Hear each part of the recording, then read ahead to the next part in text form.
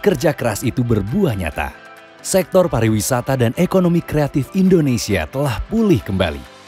Tahun 2023 menjadi titik balik kebangkitan pariwisata dan ekonomi kreatif tanah air. Sejumlah catatan keberhasilan ditorehkan program-program prioritas Kemenparekraf.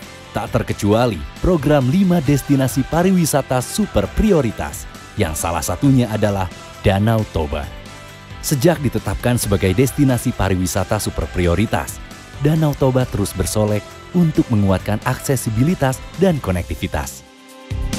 Sebagai aksi nyata menjadikan Danau Toba sebagai New Bali, Kemenparekraf mendukung digelarnya sejumlah event nasional dan internasional untuk mewujudkan Danau Toba sebagai sport tourism kelas internasional.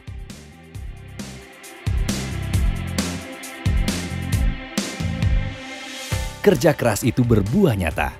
Kesuksesan penyelenggaraan F1 Powerboat memberikan multiplier effect bagi pemerintah daerah dan masyarakat Toba. Dari sisi penginapan, tingkat okupansi hotel di Danau Toba mencapai 100%. Jasa transportasi dan pergudangan meningkat sampai 16,2 persen. Sementara komponen ekspor barang dan jasa meningkat hingga 11,44 persen. Catatan keberhasilan lain terjadi lonjakan penumpang pesawat selama penyelenggaraan event F1 Powerboat di Bandara Silangit dan Kuala Namu. Kerja keras itu pun berbuah nyata pada penyelenggaraan Aquabike Jet Ski World Championship yang berbarengan dengan event Pesta Rakyat Sumatera Utara.